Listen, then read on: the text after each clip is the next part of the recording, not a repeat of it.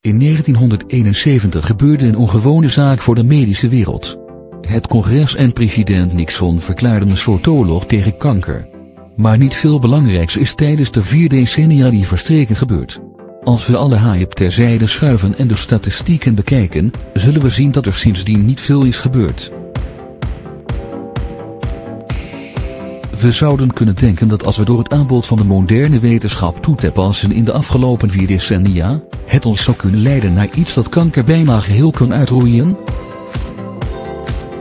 Vooral als we de ontwikkeling van kanker vergelijken met andere gebieden van technologie.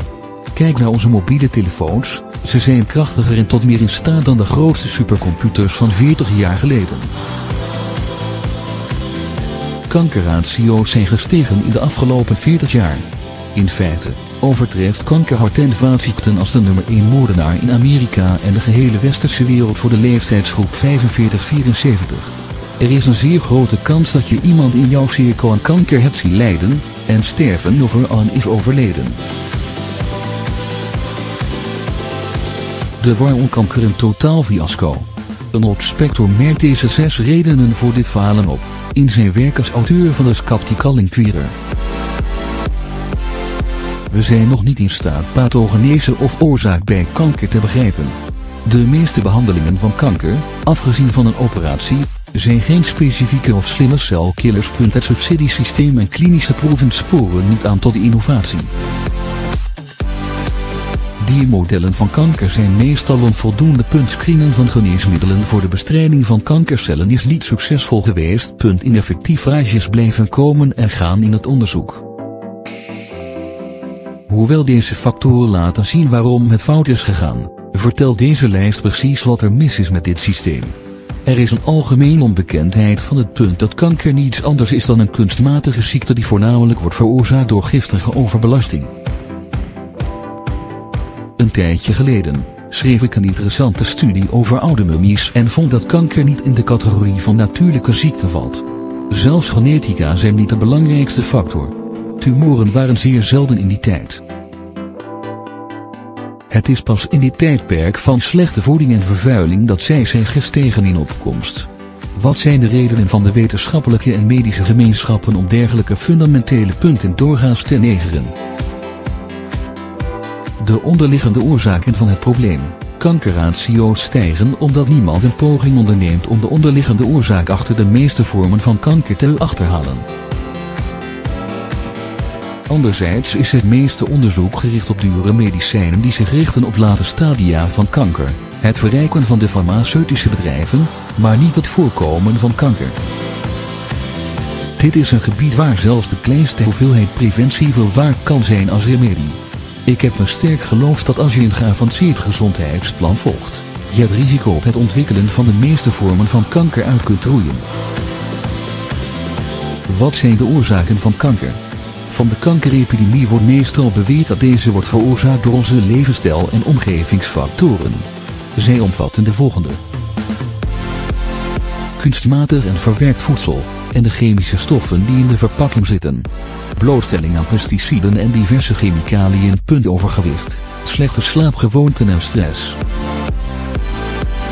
Blootstelling aan draadloze technologieën, medische diagnostische straling, en vuile elektriciteit. Onvoldoende blootstelling aan zonlicht en het gebruik van giftige zonneschermen. Farmaceutische drugs. Dit is zeker een korte lijst van wat de oorzaken van kanker zijn en een uitgebreide zou veel te lang worden.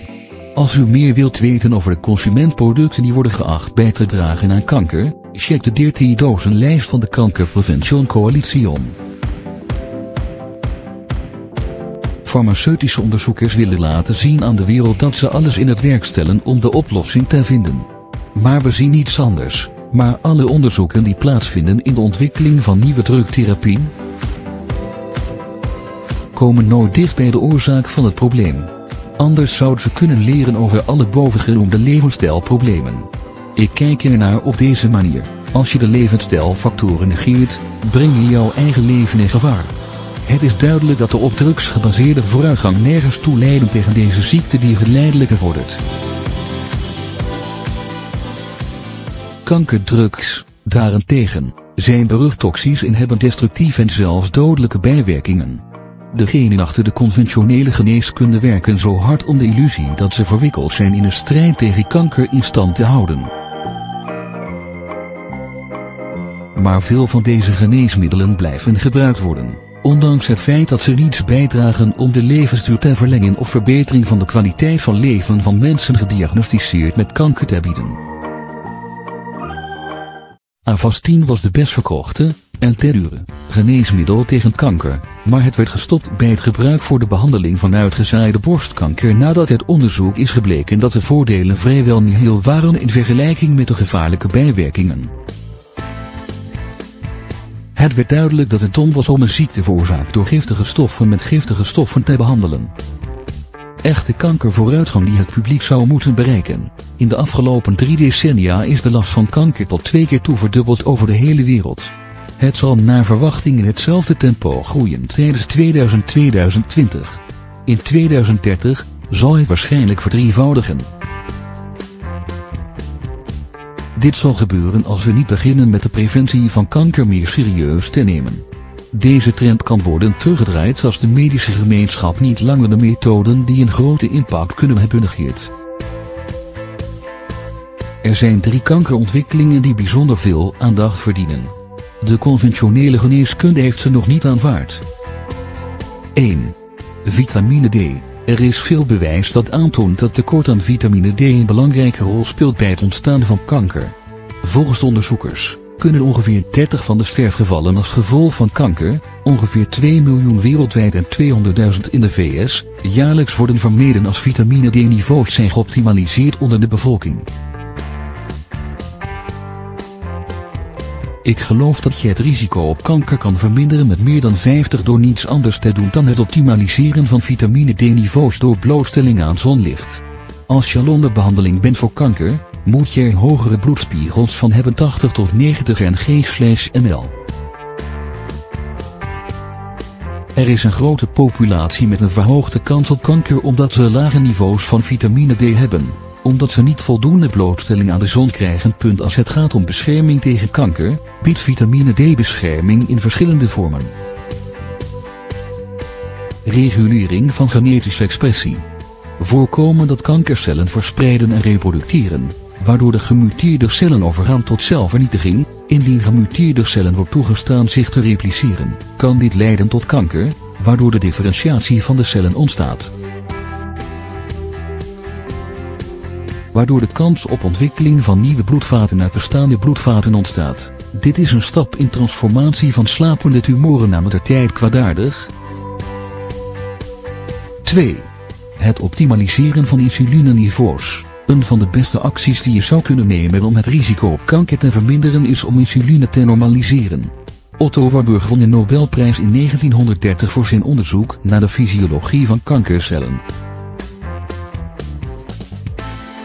Dit liet zien hoe kankercellen meer suiker nodig hebben om te bloeien.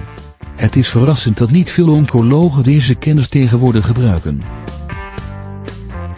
Een van de beste voorbeelden is dat van de Cancer Treatment Centers van Amerika. Met strenge dieetmaatregelen in plaats bij de behandeling van kanker in hun programma. Als je de insulineniveaus verhoogt in je lichaam, kunnen ze aanzienlijke schade veroorzaken. Diabetes is een veel voorkomende vorm van deze schade. Dr. Ron Rosedale, MD, wees op de volgende passage in een van mijn meest gelezen artikelen. Insuline en zijn metabole effecten allerlei ziekten, van een gewone verkoudheid tot kanker, van osteoporose tot hart- en vaatziekten en alles daartussenin, hebben allemaal hun wortels in op moleculair en cellulair niveau. Hij zegt dat insuline zeker zelf een rol kan spelen in de ziekte en in veel gevallen het controleert. Gelukkig is het gemakkelijk om je insulineniveaus te controleren. Je moet beginnen door het controleren van hoeveel granen, suiker of fructose, en verwerkte voedingsmiddelen je tot je neemt. Hiermee wordt voorkomen dat insulineniveaus gaan stijgen. 3. Oefenen. Als bij jou ook net als bij de meeste anderen, oefening niet het eerste ding is dat in je hoofd opkomt als je het risico op kanker wilt verminderen, is het goed te weten dat er bewijs is, dat de uitoefening ervan zou kunnen helpen bij het verminderen van het risico op kanker.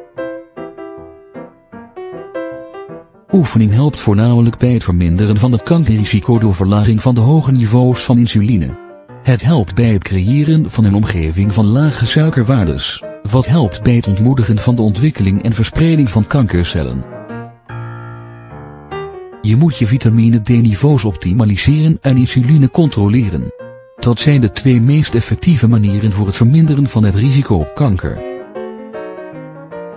Als je een fysiek actief volwassene bent, kun je het risico op darmkanker met 50% verminderen in vergelijking met diegenen die er een sedentaire levensstijl op nahouden. Als een vrouw die op een regelmatige basis oefeningen doet, kun je het risico op borstkanker verminderen met 20 tot 30% ten opzichte van je inactieve tegenhangers. Oefening helpt ook bij het verbeteren van het immuunsysteem van de celcirculatie in je bloedbaan. Bedenk dat ons immuunsysteem het eerste beschermende schild is tegen alles varieert van een kleine ziekte zoals een verkoudheid, tot de meest destructieve en dodelijke ziektes zoals kanker.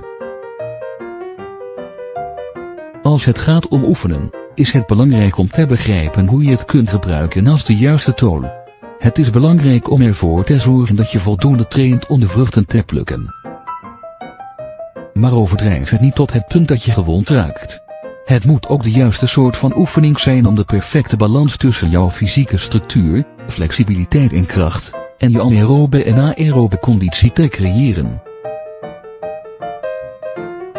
Dat is de reden waarom oefening moet worden gezien als een medicijn dat moet worden voorgeschreven met zorg voor het bereiken van optimale prestaties. Het maken van de juiste persoonlijke keuzes zorgen ervoor dat je de oorlog tegen kanker wint. Er is veel dat je kan doen voor het verminderen van je risico op kanker. Volgens de conservatieve Amerikaan Cancer Society wordt een derde van alle sterfgevallen door kanker veroorzaakt door arm dieet, overgewicht, lichamelijke inactiviteit. Als je de beste en gezonde keuzestem maakt, zal je dat geen windeieren leggen met betrekking tot het elimineren van tenminste één factor in onze oorlog tegen kanker. Optimaliseer je vitamine D-niveaus door het verkrijgen van een veilige blootstelling aan de zon. Het beste is om je vitamine D-niveaus de hele tijd in de gaten te houden. Houd controle over je insulineniveaus door een limiet op hoeveel suikers of fructose en verwerkte voedingsmiddelen mogen worden geconsumeerd. Het krijgen van de juiste hoeveelheid beweging. De belangrijkste reden waarom trainen effectief werkt, is omdat het onze insulineniveaus laag houdt. Het is een van de beste manieren voor het verminderen van het risico op kanker. De juiste hoeveelheid omega-3 vetten. Gebruik een instrument dat permanent de neurologische kortsluiting die kankergenen kunnen activeren kan elimineren. De CDC zet er ook mee eens dat ongeveer 85 van die ziekten emoties als hun oorzaak hebben. De kans is groot dat het een nog veel grotere factor kan zijn dan al die bovengenoemde fysieke factoren. Ik gebruik de Emotion Alfredom techniek voor dit doel. Niet meer dan 25 van de mensen consumeren voldoende hoeveelheden groenten. Dus zorg ervoor dat je zoveel fruit eet als je kunt. Maar zorg ervoor dat je biologische en verse groenten consumeert. Van kruisbloemige groenten is gevonden dat ze krachtige antikankervoordelen bevatten. Houd in gedachten dat kartgebaseerde voeding tot 300 meer groenten kan vereisen in vergelijking met op eiwit gebaseerde voeding. Zorg ervoor dat je het juiste lichaamsgewicht blijft handhaven. Je blootstelling aan giftige stoffen gaat minimaliseren, zoals chemische reinigingsmiddelen gebruikt in huishoudens, luchtvervuiling en synthetische luchtverfrissers. Krijgt voldoende kwaliteit slaap. Minimaliseer het gebruik van draadloze technologieën, met name mobiele telefoons. Zorg ervoor dat je verschillende soorten veiligheidsmethoden invoert als je niet in staat bent om hun applicaties te voorkomen.